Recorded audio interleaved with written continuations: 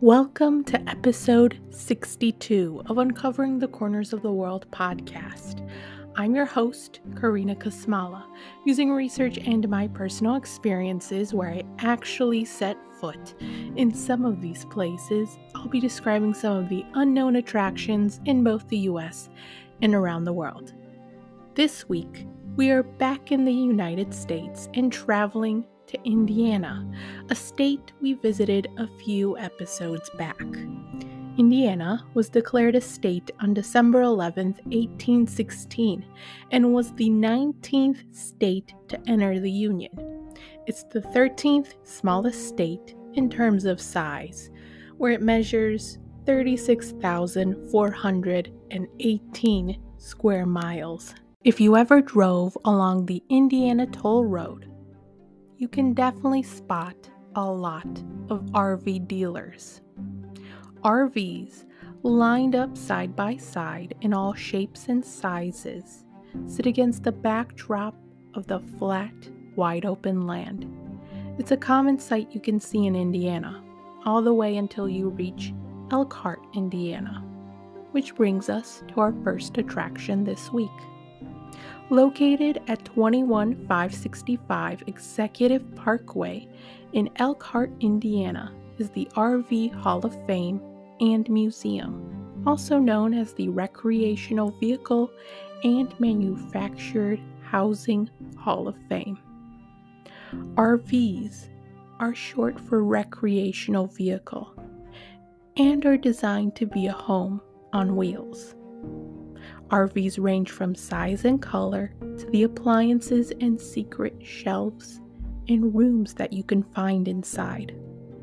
Along a two lane painted asphalt road winding through the museum against campground decor are RVs, from the earliest primitive models to the modern exclusive types. Besides RVs, there are also trailers that include models that are simple in design, such as the 1916 Cozy Camp trailer made by Habing Manufacturing, advertised that it could be set up by one man in seven minutes. The Cozy Camp trailer from 1916 has a tent that covers two beds, along with two compartment ice chests, a stove, and lockers. Today's design of the camp trailer hasn't evolved too much. There are also trailers that deliver a 1950s retro atmosphere the moment that you step inside, such as the 1954 Holiday Rambler or the 1954 Shasta 15 foot. Walking through the museum, you can also find the 1964 Clark Cortez motorhome, considered to be America's first front wheel drive motorhome.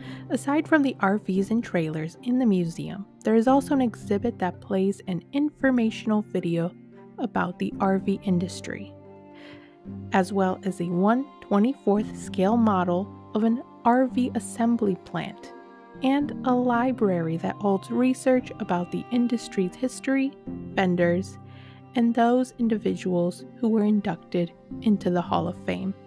Our second attraction takes us to the capital of Indiana, Indianapolis.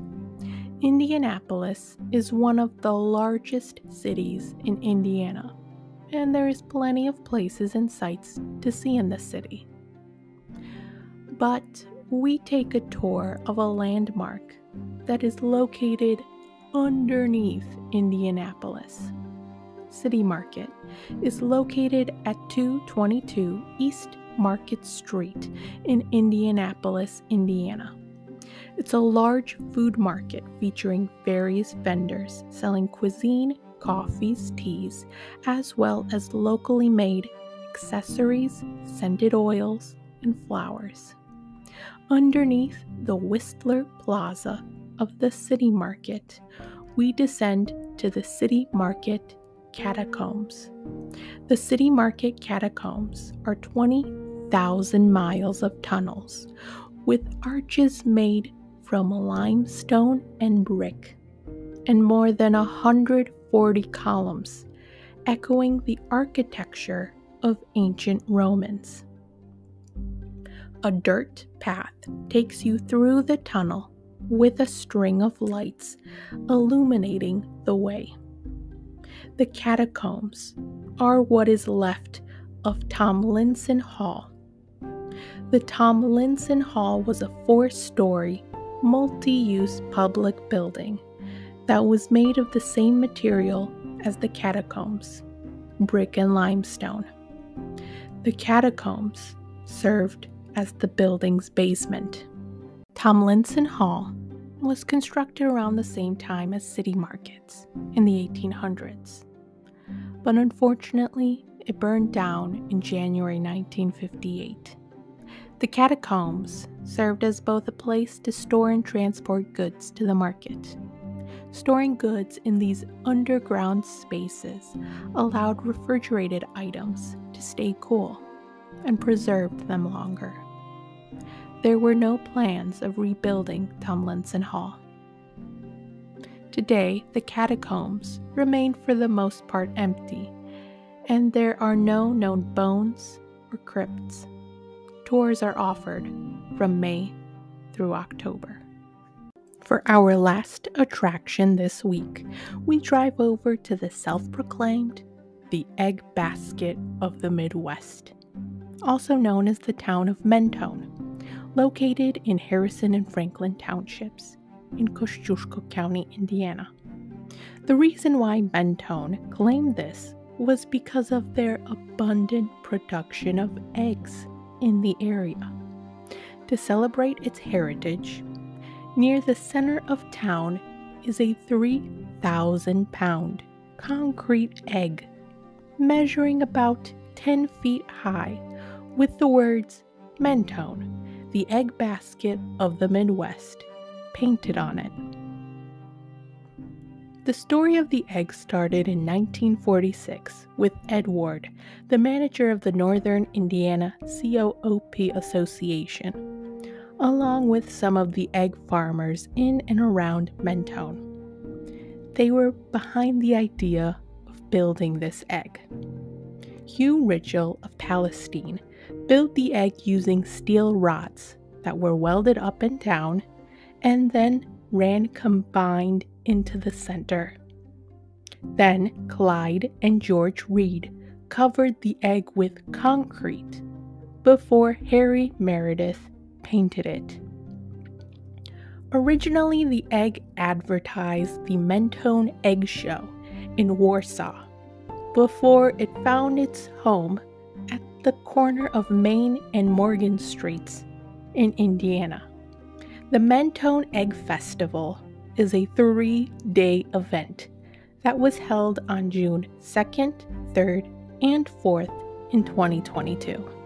Thank you for listening to this week's episode. If you want to learn more about the RV Hall of Fame and Museum, visit the website rvmhalloffame.org and check out the video History on Wheels Show 003 featuring Mae West's 1931 Chevrolet house car on YouTube to learn more about the Market City Catacombs or book a tour of the catacombs, visit the website indianalandmarks.org and watch the video What Lies Beneath the Hidden Catacombs of Indianapolis on YouTube.